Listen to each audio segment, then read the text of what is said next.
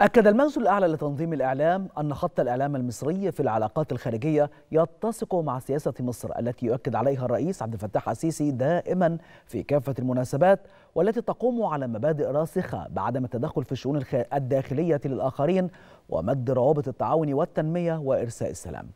وأوضح المجلس أن ذلك يأتي انطلاقا من توجيهات وتأكيدات الرئيس السيسي المستمرة والمتواصلة للإعلام بمد جسور التعاون والتواصل والتشاور مع الدول العربية الشقيقة والعمل على التواصل بين الدول والشعوب.